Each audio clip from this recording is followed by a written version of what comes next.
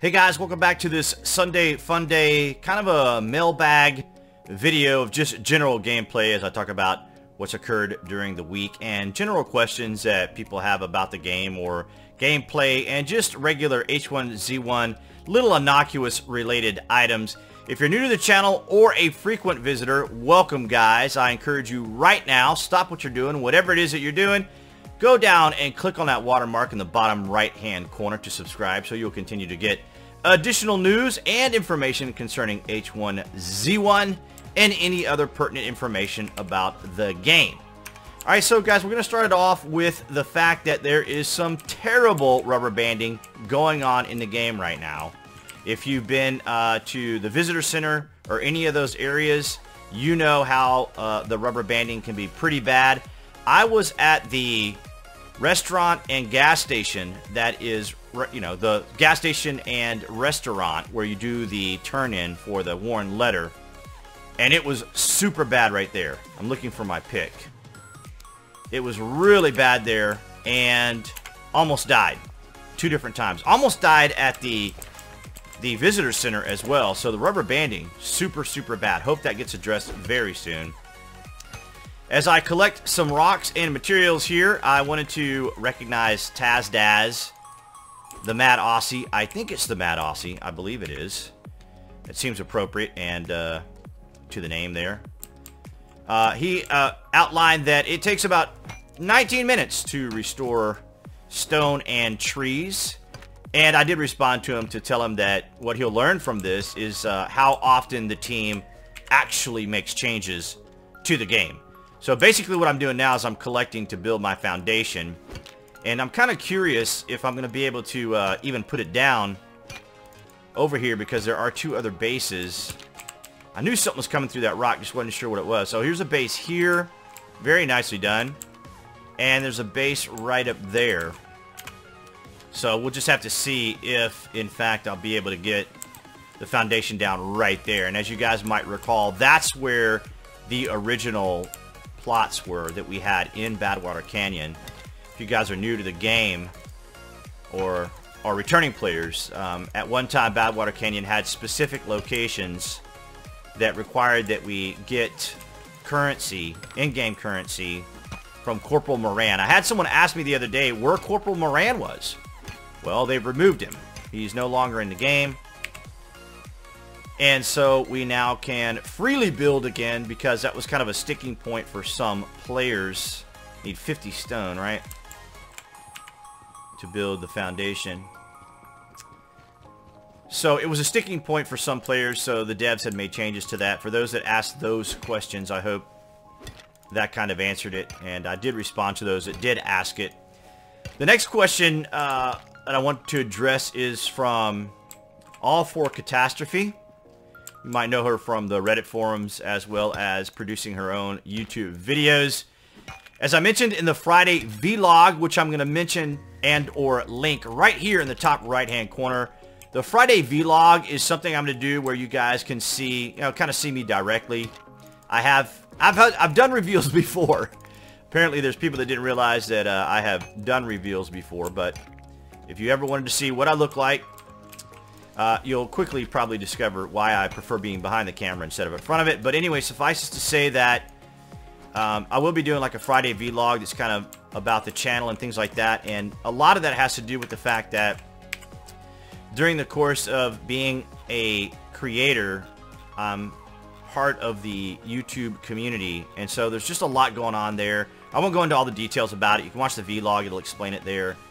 And um, you can see why that was generated. But I want to be a little more proactive with the channel. I know you guys asked for these types of videos. Um, I'm glad you like them. Uh, these are probably some of the easiest ones to actually make as far as just um, gameplay in and of itself. Uh, the productions, the fly-ins, and all the little uh, pieces, set pieces that you guys see, adjustments to microphones, sounds, and all those things are all done during the course of uh, putting together, say, like an update video and stuff like that, uh, for every minute a video you guys see, like on an update video or a news video where you're seeing like an actual production with the nice fly-ins and all those sorts of things where there's all the production value, that's going on, those actually take several hours to make. Because, like, for example, I know you guys probably don't really care if, if it's night or day, but I do. And you know my little joke, right, guys? Every time I go to record or shoot or shoot video or do screens, it's always night. It's always night. It's just always night. Now, I want to talk about that too because I see that a lot in Reddit. People say, hey, the game's too long. It's, it's always night in the game. Why is it always night? There's a couple reasons. Now, the last time I actually physically checked this with a stopwatch and a timer, it was, I think, 37 minutes day, 35 nights. Something to something to that effect. What I'm trying to do now is collect enough um, copper and zinc for nails as well as the ability to build um, I still need to build the barbecue grill. So what I like to do is um, build the furnace and stuff. Don't you like how I just jump around? See, see the difference between doing like a full-on production versus live mic? Because I've got like so many things going on in my mind at the same time and I can just go into so many different directions. So what happened was last time I timed it, it was 37, 37 day, 35 night, something to that effect. With, within within that boundary. Um, now, if you guys play EQ, EQ2, or even PlanetSide 2, I can't confirm this in PlanetSide 2, but as far as EQ, it was always 45 day, 45 night. Um, so, I assume they just adopt that across the board, because it was the same way it was in Landmark. Landmark was also 45 day, 45 night, but eventually we were able to, um, don't I have 15 steel? I don't. Okay, so I need steel. So the nighttime has been adjusted for this game several times. Um, I think the intention is that it remain as dark because it's more menacing and more dangerous and stuff that goes on, you know, at night and so forth. But we've seen so many changes to zombies in and of themselves. But I believe me, guys, I empathize with you in, incredibly when it, it's like you come in and it's just like night. I don't really have a problem with it being night if I'm just solo playing. But for recording value, just from my old school background in production and filming, it's always, you know, light, light, light. You'll hear it all the time um, about how important lighting is uh, on your subject or whatever you're doing. So that's why I have sometimes adjusted the um, the settings, the INI file, which right now uh, also doing a lot of changes in production. So little changes to the mic, little changes to um, doing a two-track recording right now. So if the game is too loud or excessive, uh, although the game music is completely turned down. I, I, do you guys remember hearing much game music in Badwater Canyon? I don't recall hearing a lot of music in Badwater Canyon as opposed to, say, like Z1. It's, like, triggered in different areas that you go to. It's on, like, a little trigger area uh, for the music to spawn uh, for that. But, um, so our next topic is going to be about 2018. And where is the game going in 2018? I think we're going to hear the most out of the team this year. I just I just think that 2018 is going to be the year where we get more definitive answers, a more definitive direction in the game, and I'm anticipating, as you guys probably are too, a very large patch of some sort coming up real soon.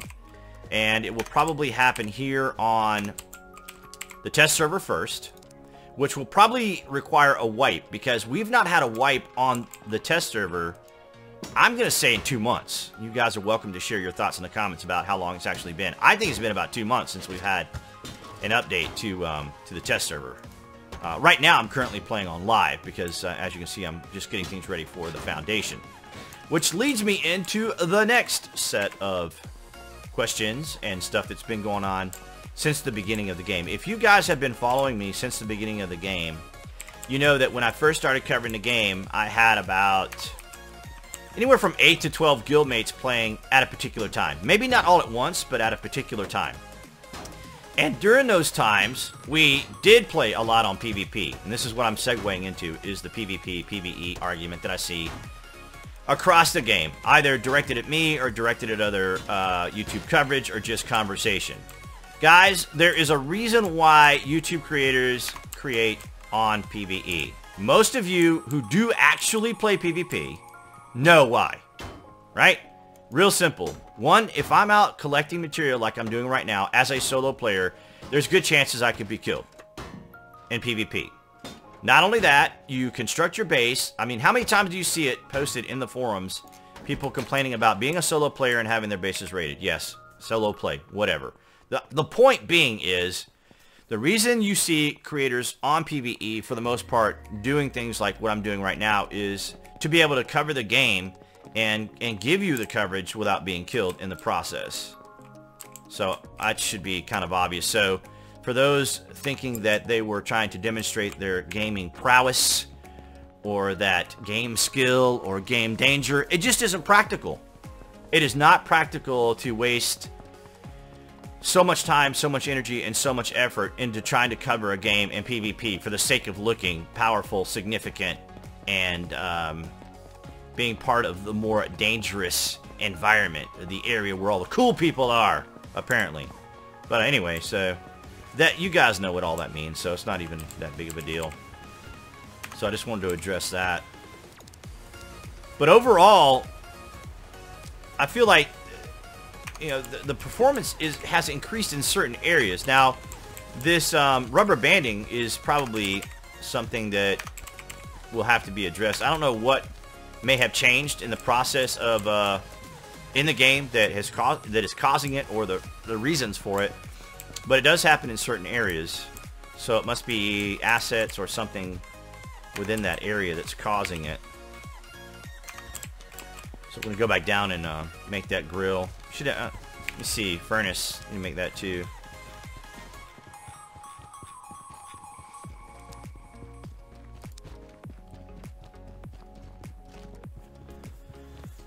Also, if you guys are on Twitch, I know a lot of you guys enjoy Twitch. It's kind of where Daybreak really focuses a lot of its attention, particularly for advertising the game and bringing the game to an audience. It's kind of the hype, their hype train, their their new sense of public relations to generate attention for the game. It just seems like it's suddenly lighter now, doesn't it?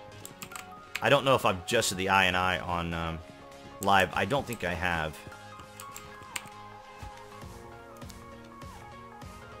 Let's go and get that barbecue grill going. And I didn't even look to see if we had enough for a furnace. We do. Well, that's a bandage. Furnace. Alright, so we're going to need a little more steel. We got 25 steel. What do we need? It's because we need more zinc and copper. We have 17 zinc, so we got enough of that. When we, um, five zinc here. Let's see. Yeah, we need more zinc. Alright, so we'll grab some zinc now. We'll go ahead and put the screws up. We'll just go ahead and put everything back up. And we'll just come back.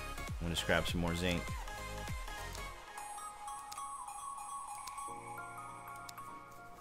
But going back to Taz as well, there's, uh, I'm just curious what you got. If you guys want to mention people that you watch that cover the game, I'm curious to know who it is that you guys watch.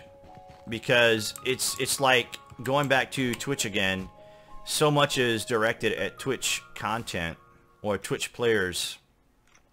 I don't have anything against Twitch. I used to cover Twitch or I used to cover the game in Twitch. Matter of fact the last time I did a live coverage on Twitch was covering H1Z1 way back when the game first launched.